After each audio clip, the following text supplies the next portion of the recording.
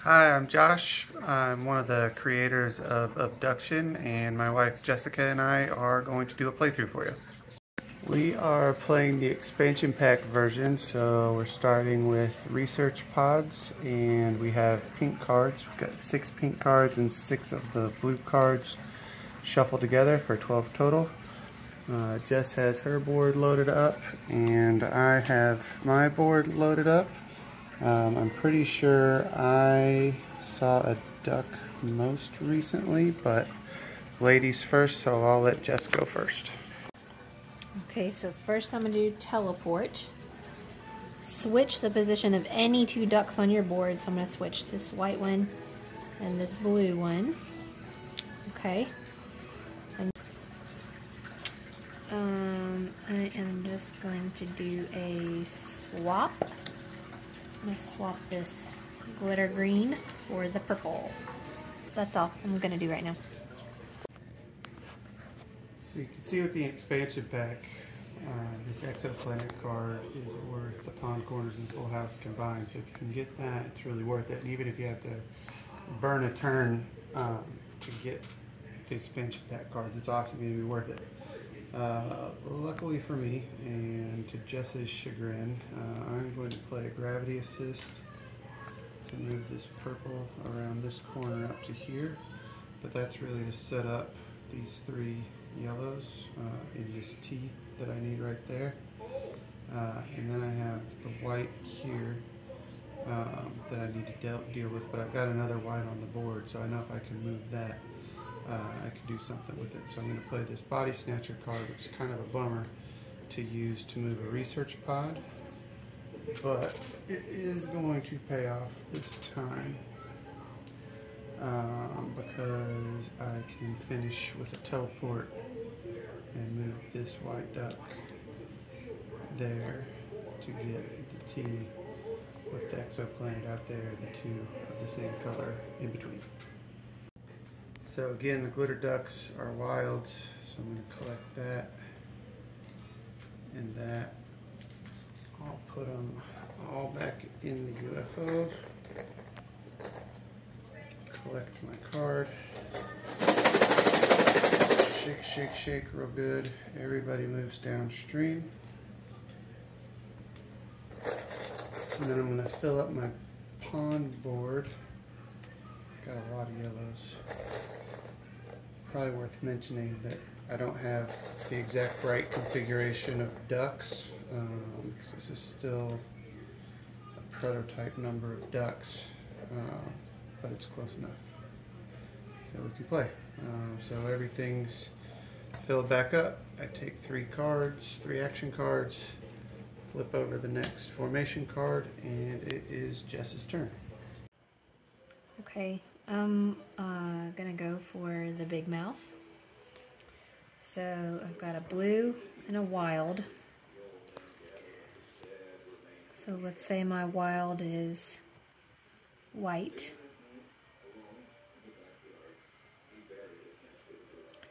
So then I need a blue and a white here. I got a white, but I need a blue. So I'm going to use one of my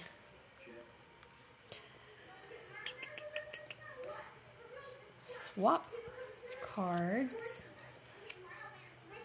Nope. I'm going to use one of my teleport cards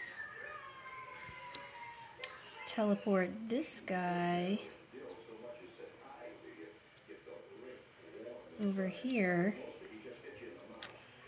Okay, so I got a blue and a white, a blue and a white. I'm gonna use a card, doesn't matter what card, to get my expansion port, which I'm going to place research pod. research pod. I'm gonna place here. I need this to be a blue. Shift any three ducks. Hmm. It doesn't look like I can do this with this card. Any three ducks from your board. Okay, so I can't do this. I'm going to take this one, this one, and this one.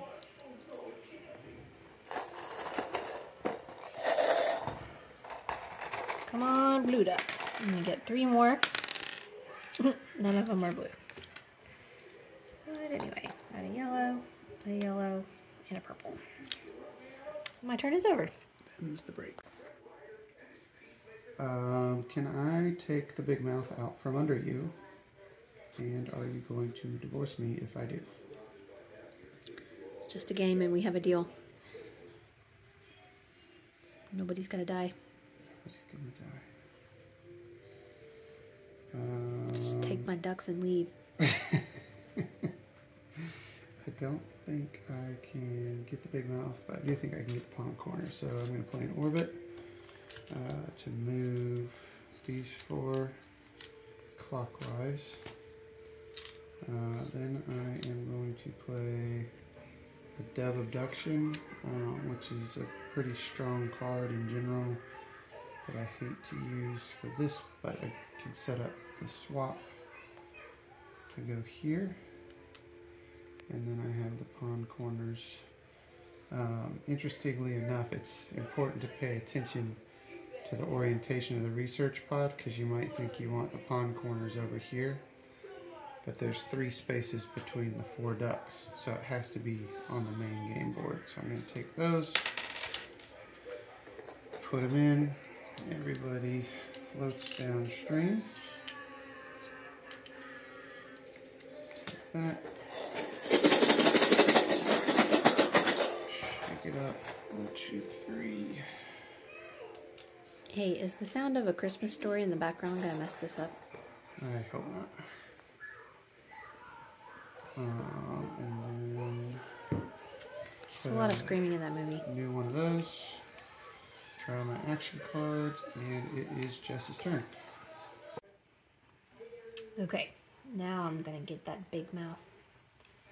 I'm gonna use shapeshifter to rearrange the order of a straight line of three ducks on my board. And I'm really just gonna move the glitter here and make that my wild. And then I'm gonna use swap to swap white and glitter. And then I'm gonna claim my big mouth victory. So blue, white, blue, white, blue, white.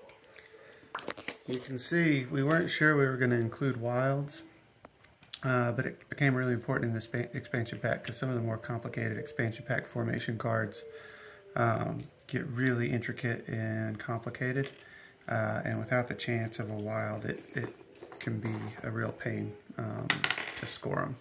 So it made a ton of sense to put them in there.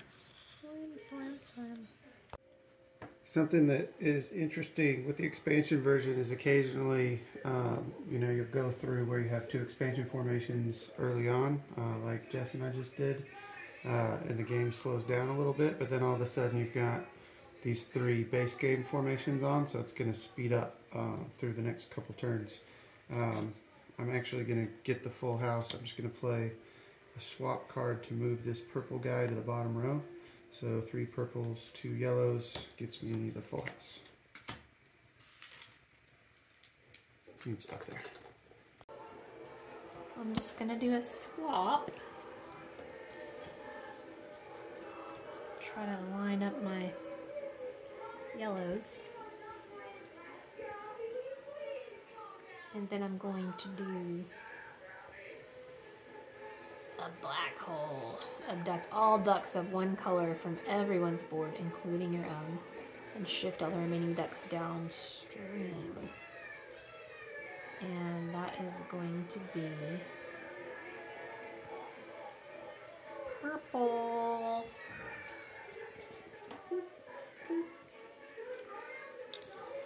So we both take all our purples off and move everything downstream like you normally would. And we'll repopulate our boards. Jess going first uh, because it's still her turn technically. To move this over here.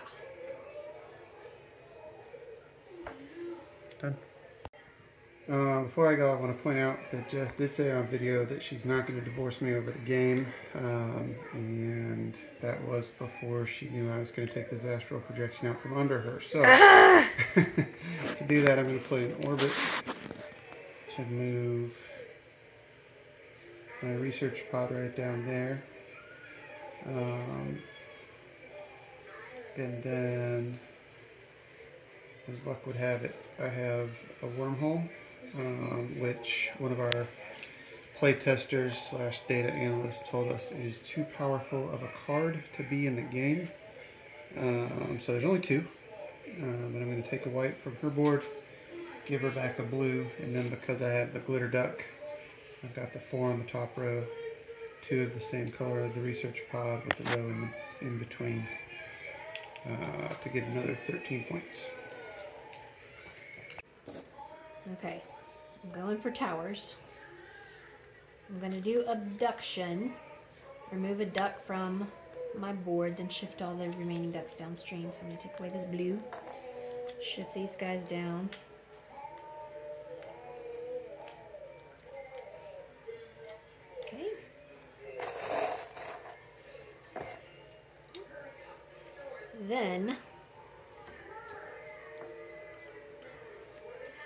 To do a gravity assist. So I'm going to swap one duck on my board with a duck it's next to. Okay. Then swap it with another duck that it now touches. And I've got boop, boop, boop, towers. When we made this game with the action cards, we tried to do stuff that um, was pretty authentic to space or alien sci-fi. So the gravity assist is that thing that NASA does with satellites and stuff when they shoot them way out into space and use the gravitational pull of the moon to kind of fling them out into the middle of nowhere. Uh, so we thought that was a fun name uh, for what happens with that card. Uh, in between takes, I was telling Jess that I probably played 500 solo games uh, during the play testing of this, and I can kind of see everything happening in bullet time. Uh, it's the end of the future. Um, got an orbit card here, so I'm going to rotate these guys clockwise. So what you're saying is the more you play it, the more more awesome it, you are at it. The more awesome you are at it. And I'm going to take Gooseneck, which, again, base formation cards are less valuable than expansions, but this is the most valuable card on the table. Uh, so it's a good one to take. Okay. Um, this is just my arrangement, and I'm to go for the gridlock. And without using a card, I already have the gridlock. so, three of the same and three of the same. The glitter duck is a wild, so that's a yellow. So I've got yellow, yellow, yellow, blue, blue, and wild makes another blue. Boom, baby. So again, you can see how those glitter ducks show up to really help uh, those expansion cards um, not just be possible, but occasionally be easy. All right, so we've got the last expansion formation on the table. Um, and going to make sure Jess doesn't get that, and I am going to do it by playing a shapeshifter uh, to get this blue guy up here. And I've got three vertical and two of the cross I need to get the proton. Uh, and then I'll get the swap to move this blue and exchange them for the yellow. And these are mine. Okay, without even doing anything, I've got reflection. Purple, purple, purple. Purple. Glitter is purple. Glitter is purple. So reflection is um, top row has to be the same as the bottom row, but the colors can be anything. So like this could be yellow, yellow, blue, blue, pink, pink, or it could be all purple like Jess had, uh, or sort of any combination there. Um, something that's really interesting, we're in the end game um, and almost done collecting all the formation cards. I don't know that I've ever seen this happen uh, during any of the play testing, where usually the end game in the expansion pack uh, version of the game kind of slows down because there's a card that's out there that's really difficult to get and it takes the player several turns to kind of set up and make it happen. Um, but we actually ended up with not just base game cards, but but two or three of the, the easiest base game cards uh, in our end game. So it's going to go. You can't do two on the same turn Why not? because that's not that's Thought you can use all of your cards. But you can only collect one formation. Oh, I didn't know that. Anyway, so the end game on this is going to be uh, faster than it might be otherwise. All right, so I'm going to get the birds of the feather. Um, I am going to. How am I going to get the birds of the feather? I know I can do it. Had a bunch of beers. Um, slowing down a little bit. Uh, if I abduct this dude, get him out of the way, that puts the three in a row, and then I just have to uh, Chandler'll kill me if I play the wormhole to move my research potty, even though it's the end game. I'll play the body snatcher, go here, four in a row. I am also at the end of my cup, but I can see that I have this without having to do anything. Two purples, two blues. And that is game. All right, so we're counting up our score.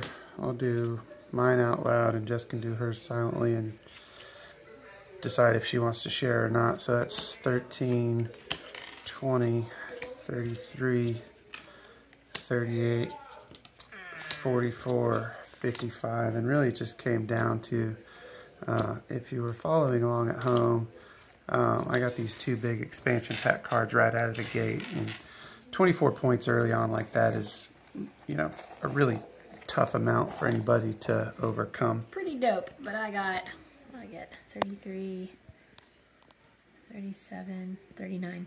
39. Uh, so pretty close. Uh, fun game.